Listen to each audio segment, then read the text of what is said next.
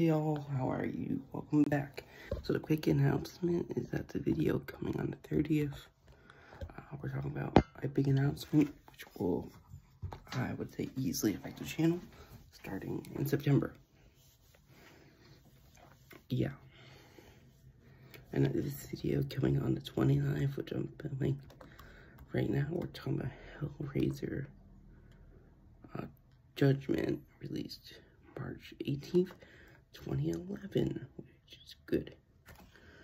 And there's only after this, there's only two more films in the franchise, which uh, the plan is to be ending in August, which is gonna be good. Um, let's talk about the beat. Uh, this film was directed by Victor Garcia. Um, he did a 2007 film Return to House on Haunted Hill which was a sequel to House on Haunted Hill. Um, he worked on Mirrors 2, uh, 30 Days of Night, Blood Trails, Damned Communion Girl, uh, and Affair to Die For, which is cool. I've never really heard of them, personally.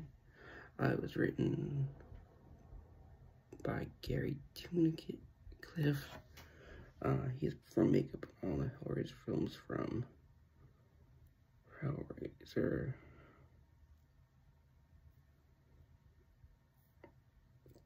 Um, he did makeup from Hellraiser 3, Hell on Earth, Hellraiser Hellworld, he wrote this one, and he wrote and directed Hellraiser Judgment cool.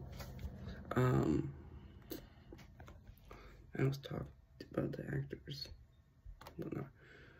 I don't like a lot of these horror films personally as you get deeper in the franchise, but here we go. You have Steven Brand. Um, he featured debut was in Scorpion King, 2002, where he played Murphanon. Uh, also Teen Wolf, which is cool. Yeah. Fred Tatasciore, who is the voice of Pinhead. Uh, known for the voice of Hulk and Beast in DC, sorry, Marvel Media, and also Solomon Grundy in DC Media, which is cool. Nick Eversman